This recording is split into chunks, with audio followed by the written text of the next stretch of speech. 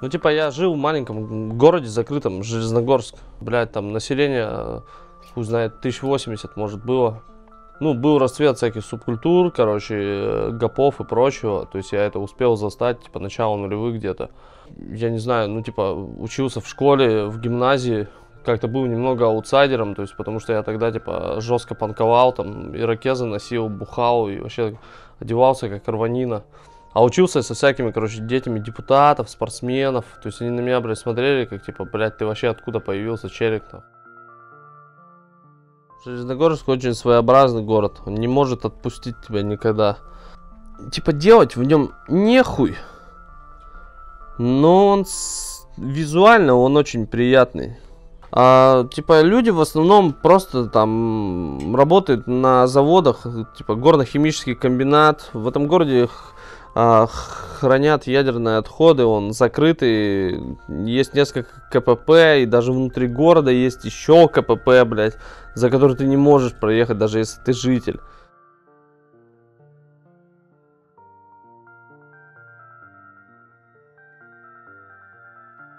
ПТУ это было пиздец, это натуре, это школа жизни, нахуй. То есть э, первые полгода, наверное, я пытался вообще понять, э, что я там делаю, с кем, блядь, общаться, кого бояться, потому что, ну, там пиздец, там просто контингент одни кинги, нахуй.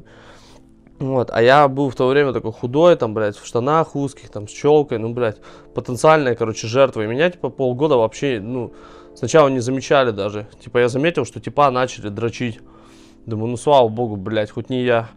Бля, не, про, не прошло и года, приходят просто типы в нашу группу. Короче, мои первые одноклассники, которые меня хуярили, и типу, который меня трубку отжал в свое время. Все, пиздец. Я попал немножко в зону дроча. Первый курс, блядь, всякая хуйня. У меня уебали трубку, мне ебальник набивали. Там, каждое утро приходишь, тебя просто встречает какой-то тип и начинает тебя просто качать. Я охуевал, думаю, да ну нахуй, чё, к чему тут вообще можно, блядь, обучиться? На втором курсе всякий, короче, скам отсеялся. Кого-то посадили нахуй, кто-то пропал, кто-то просто хуй забивал, на учебу не стал приезжать. Я уже как-то там и подстригся, и все тоже такой, типа, блядь, малость эволюционировал, блядь, в, это, в быдло. Короче, мастер заметил, что я, типа, рисую заебись. Бля, это вот был охуенный поворотный момент, короче, в, в моем статусе в группе. То есть меня сразу назначили главным по стенгазетам, по всяким оформухам, короче. Я был, типа, неприкосновенной личностью. Типа, я был лицом группы, я отвечал за... Бля, да хуй знает. Просто, типа, за всех, короче, вывозил всю хуйню в плане творчества, вот. То есть, когда пацаны делали какие-то там шарниры и всякую хуету в мастерских, я сидел в отдельном кабинете с кофе, блядь, конфетами и рисовал, блядь, фломастерами стенгазеты. На Новый год, на конкурсы. Ну и все это очень типа креативно, все по теме, потому что я понимал, что нужно пацанам, а не то, что, бля, хотят видеть взрослые. И все, и меня как бы зауважали с этого момента, сказали, ебать, ты вообще нормальный тип, типа. Меня то, то, то призвали в армию, потом комиссовали, блядь, по здоровью через неделю. Я опять, блядь, как, как говно, блядь, метался в проруби. Я просто опять проебывал время, вообще не понимаю, а что дальше? Ну вот, типа, окей, я поводил тачку, права есть, там, все есть, типа, чем вообще заниматься, хуй его знает, блядь. Я работал на Красноярском алюминиевом заводе электролизником. Вот это, блядь, просто ад ебаный. Вот если, если вы смотрели клип Рамштайна э, «Зоны», вот примерно таким ты и выглядишь, блядь, в течение смены. На тот момент платили, короче, ученический стаж 9 тысяч. Это, блядь, очень мало. Типа, даже для тех лет, ну вот, 11 год, это пиздец. Я только за квартиру отдавал, за комнату даже, 7 тысяч, по-моему, вкачанную, там, с сеструхой еще. Вот. И получается, что, там обслуживаешь алюминиевые печи, в которых плавится алюминий, там ебаная, блядь, жара, 32 градуса в цеху, ты весь, короче, а, в брезентовой одежде, ты в валенках, в наморднике, блядь, в каске, вообще просто упакован по полной. Там постоянно магнитное поле, все дымит, воняет всякими химикатами, ну там просто невыносимое дерьмо. Я продержался там ровно одно лето, я до четвертого там разряда доработал, сдал все и просто нахуй съебался оттуда, уволился. Пиздец, я устроился на склад, как, короче, блядь, всякого инструмента, типа, блядь, рабочего. Я жил на окраине города в общежитии с корешем, типа, в гостинке. Мы, бля, каждый день бухали и по выходным курили спайсуху. Все равно я, я не могу долго работать. Я не представляю человека, который всю жизнь хуярит на одной работе и вообще балдеет с этого. У меня уже просто в трудовая книжка закончилась, и в ней уже вкладыш наполовину кончился. То есть это пиздец, показатель, блядь, какой я работник. Я просто грузчик, кладовщик, нахуй, мерчик, нахуй. Я не могу себя нигде найти. Я, я до сих пор, вот как мне было 15, я вышел, блядь, со школы, типа, а что мне надо и что я умею, блядь, не ебу. Я ровно так же сейчас выхожу из дома и думаю, а нахуя вообще, куда мне, что, как я двигаюсь, блядь. Вообще нет никаких планов на будущее.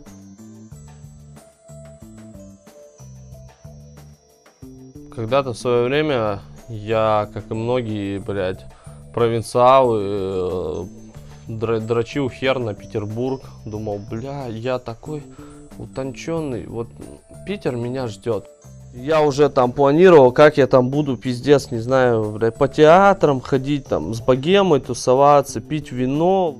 Вся вот эта вот голубизна, вот вся эта хуй, хуйня непонятная, короче. Бля, ну когда я съездил туда два раза, и там нахватал поебал, побывал в мусарне, поспал в подвале, и вот прочее, вот это вот чернь нахуй, я понял, что это, блядь, очередной русский город, и все вот эти, блядь, дрочила, они просто, ну, они шило на мыло, короче, меняют, нахуй. Они переезжают из своей провинции в, просто в большой русский город, где, блядь, сливается с кучей таких же, блядь, дрочеров и кучкуются по каким-то барам, блядь, гей-клубам, не знаю, блядь, э, выставкам и прочей хуйней, занимаются тем же самым, сидят на месте и ноют, блядь, как тут хуево, скорее бы отсюда еще съебаться. Переехав к родителям, я попал, короче, в деревню, нахуй. Просто, где нихуя нет. И постепенно как-то вот это вот понимание, что, бля, надо там одеться вот, ну так, чтобы вот заебись было. Потому что э, в большом городе ты все равно красуешься, нахуй, перед другими. Ты покупаешь мотку, выгуливаешь ее там, блядь, по клубам, не знаю, по, по барам, блядь, показывай, ебать, посмотрите, нахуй, что я купил, блядь. Там ты хоть, блядь, оденься в самую дорогую одежду мира, да всем просто будет похую. Никто вообще не будет на это смотреть. Там люди приземленные. Им главное, чтобы, блядь, все накормлены были. Там, не знаю, блядь, э, поле вспахано, не знаю, корова подоена. И, блядь, чтобы желудок был полон. И через какое-то время, короче, мне стало похую как-то и на стиль. Я стал уже там и спортивки на себя примерять. Купил себе спорткостюм Russia все эти левые мысли, короче, ушли. Я просто как отфильтровался. То есть у меня осталось именно вот, вот это, как говорится, людское. Я стал таким же приземленным человеком. То есть я остался творческим, да, но о многих вещах я просто перестал думать, потому что понял, что да, оно мне никогда нахуй не надо было, в принципе. Мне навязывали это тусовки, там, медиа, вот какие-то вот люди, блядь, которые, блядь, чувак, вот быть таким вот, ну это, блядь, не надо. Вот эти еще предвзятые отношения, короче, к тому же, например, спортивному стилю, потому что, блядь, и еще лет 10 назад типы в спортивках ходили и щемили людей, блядь, на каждом углу. Поэтому отношение, что, бля, если ты, короче, в спорткостюме ходишь такой в городе, бля, ты, ты либо, блядь, быдло, либо спортсмен, нахуй. Потому что нормальные люди там, они брюки носят там и поло там, блядь, с, какими-нибудь там, блядь, ботинками охуенными там в пальто. И все, и вернувшись просто с деревни, я понял, что нихуя, я просто, я простой человек, такой же, как все, блядь. Кто меня знает, они знают, что я остался таким же чуваком, просто, ну, вот я выгляжу так. А, кто не знает, вот они ходят и думают, бля, ебать, что за тип, нахуй, пиздец, да ну нахуй, бля, что за деревенщина.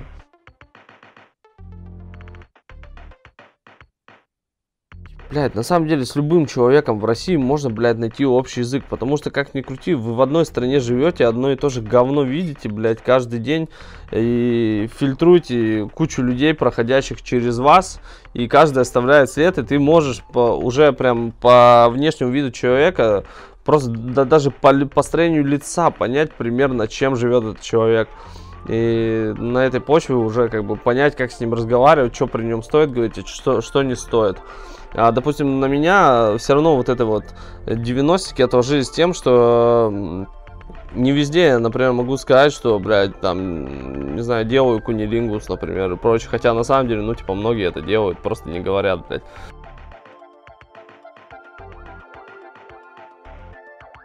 А, я, ну, стабильно бухал всю жизнь, как бы, блядь, лет, ну, лет 14, да, как раз. Это все, короче, вот навязалось на теме вот субкультуры, блядь. Когда я впустился в рок-субкультуру, там, блядь, бухой и сигареты, это как бы все пиздец. Это составляющая, по большей части, была. И долгое время, да, это, блядь, мои спутники были.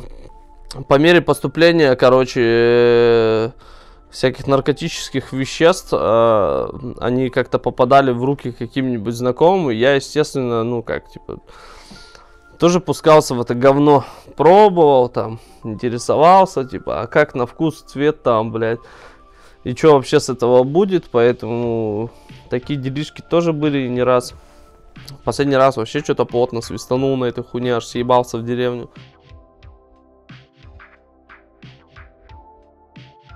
Я никогда особо не задумывался на тему, чего бы я хотел творчество. Просто есть момент, что однажды года в 4 или в 5 я поставил перед собой машинку, попытался ее перерисовать, и все. Э, это оказалось моим жизненным путем. То есть я рисую всю жизнь. Это, это, это, короче, неотъемлемая часть меня.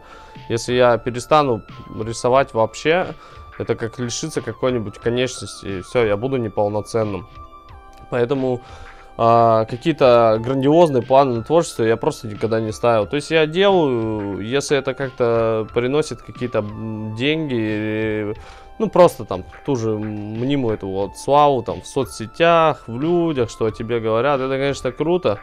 А, но, допустим, я не могу точно сказать, хотел бы я зарабатывать на этом. Потому что, ну, это все-таки часть меня, и поставить ее, как бы, как, не знаю, на конвейер, что ли. Это наверное, очень серьезный шаг. То есть у меня никогда не возникало мысли, типа, блядь, так я сейчас что-нибудь нарисую. И, короче, это, это продастся, нахуй. Это появилось только с момента, когда мне начали уже реально э, люди предлагать деньги за это. Но в целом это все просто энтузиазм. Рисуешь рисуешь, там, показываешь людям, а кто хочет, тот купит, блядь. Кто не хочет, тот не купит. То есть как-то все так. Это зависит именно вот от спроса. То есть, по сути, если мне даже не будут платить, я все равно буду этим заниматься. Это просто ради себя развлечения, потому что, ну, блядь, сам себя не развлекаешь, нахуй, другие это за тебя точно делать не будут. Поэтому вообще не вижу в этом проблемы.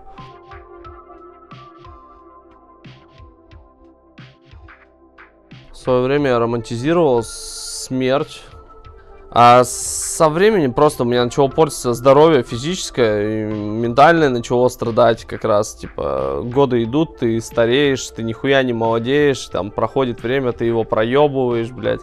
А кто-то умирает, вот эти вот встречи именно со смертью, что там кто-то из родственников, кто-то из друзей умер, вот. Ты просто там, твои кумиры умирают уже, там, причем кумиры там могут быть, блядь, твоими ровесниками вот, и как будто, блядь, в свое время мне резко на почве вот здоровья как раз клинануло. Все, мысли о смерти, блядь, стали очень часто посещать. Я скажу, что у меня, наверное, уже есть проблемы, потому что, бля, я думаю об этой хуйне каждый день. Бывает, что, и, блядь, идя по улице, я уже за поворотом думаю, что вот сейчас, блядь, произойдет то самое, короче, хуевое событие, блядь, сейчас я ее встречу. То есть, лож, ложась спать, я уже ложусь не то, что с мыслью, типа, бля, как, как классно сейчас посплю, а типа, бля, лишь бы, короче, проснуться, нахуй. Типа, проснусь, будет заебись. Мне кажется, без меня, короче, как раз вот эта вот тема мира пустеет. Уйду я, все, блядь, будет скучно. Потому что я увольняюсь с работы, мне говорят, блядь, чувак, без тебя так ебано будет вообще просто. Типа, ты просто пришел в коллектив, и все, и у нас, блядь, веселье началось. Типа, до этого его не было, нахуй.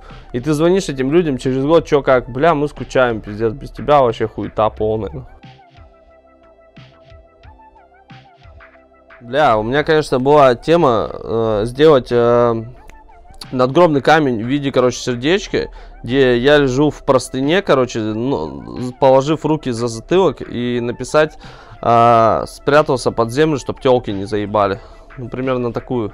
А так хуй знает, либо, либо поставить танцевальный аппарат прям на могилу, короче, где кей-поп, кей-поп ебашут и школьники собираются на могиле. Было бы люто.